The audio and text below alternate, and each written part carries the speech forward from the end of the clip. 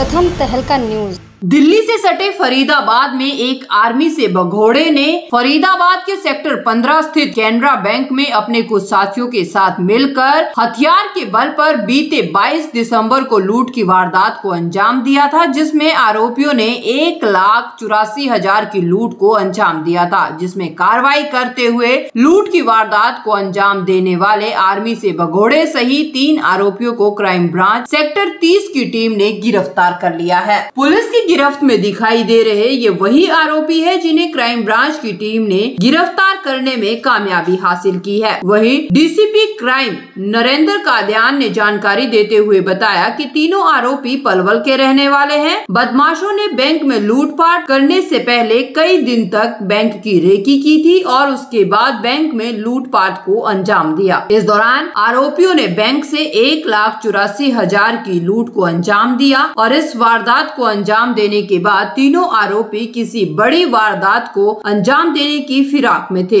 तीनों ही आरोपी high education के हैं। पुलिस ने आरोपियों के पास से लूट की। वारदात में प्रयोग होने वाली मोटरसाइकिल पिस्टल को बरामद कर लिया है। हालाँकि अभी तक बैंक से लूटी गई राशि को रिकवर नहीं कर पाई है, जिसके लिए पुलिस ने तीनों आरोपियों को रिमांड पर लिया है। डीसीपी ने कहा कि तीनों ही आरोपियों ने पहली बार इस वारदात को अंजाम दिया। दिया था। इससे पहले इन पर कोई भी मुकदमा दर्ज नहीं है। पुलिस आरोपियों से अब बैंक से लूट की गई राशि रिकवर करेगी। वहीं लूट के आरोपियों को गिरफ़्तार करने वाली टीम के सदस्यों को पच्चीस हज़ार का इनाम देकर फरीदाबाद पुलिस कमिश्नर की तरफ़ से सम्मानित किया गया है। 22 दिसंबर को करीब एक बजे सेक्टर पंद्रह की मार्केट में कैनरा बैंक में एक लाख चौरासी हज़ार रुपये की लूट हुई थी। तीन नकाबपोश बंदे थे जो मोटरसाइकिल पे आए और चंद मिनट में ही लूट करके वहाँ से फरार हो गए।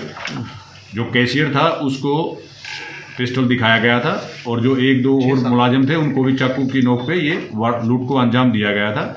इसमें हमारे सीपी साहब श्री विकास अरोड़ा जी ने चार पाँच टीमें लगाई थी और इंस्पेक्टर विमल की टीम ने इसको कामयाबी हासिल करते हुए आज तीन बंदों को राउंड अप किया है। जी। और सीपी साहब ने पूरी टीम को सम्मानित किया है जिनको पच्चीस हज़ार रुपये आज नगद इनाम दिया है टीम को। जी सर कहाँ से इनका बैकग्राउंड क्या क्या नाम वगैरह इनके?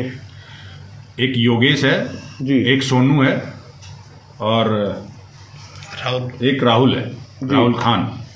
जी। ये तीनों पलवल के रहने वाले हैं हम्म। और इन्होंने दो तीन दिन पहले बैंक की रैकी की और रैकी करने के बाद ही ये वारदात को अंजाम दिया है। पहले कोई मामला दर्ज है सर इनके ऊपर? पहले इनके खिलाफ कोई मामला दर्ज नहीं है लेकिन अब ये इस वारदात के अंदर जैसे इन्होंने कामयाबी हासिल कर ली थी उसके बाद इन्होंने बड़ी वारदात को अंजाम देना था तो कि ये पुलिस की टीम के हथे चढ़ गए नहीं तो कोई बड़ी वारदात को चंद दिनों में ही अंजाम देना था। क्या कुछ क्वालिफिकेशन है इनकी? ये पढ़े लिखे बच्चे हैं बीटेक में है एक बच्चा तो। और बाकी पढ़े लिखे हैं तीनों ही। तीनों पढ़े लिखे हैं। सर हथियार कहाँ से लाए थे? ये पिस्टल बता रहे हैं आप। ये अभी पुलिस रिमांड के ऊपर है हमारे। जी। तो जो भी होगा वो आपको बता दिया जाएगा। जी। और सर लूट का कैश जो लूटा था वो पूरा बरामद हो गया? अभी लूट का जो कैश था वो बरामद नहीं हुआ है। पाँच दिन का पुलिस रिमांड लेंगे। जो हथियार थे चाकू पिस्टल और मोटरसाइकिल। जो वारदात में इस्तेमाल किए गए थे वो बरामद हो चुके हैं। जी फरीदाबाद पुलिस को सर बहुत बहुत बधाई कि बहुत जल्दी इस बिना किसी प्रथम तहलका के लिए फरीदाबाद से सुनील चौधरी की रिपोर्ट।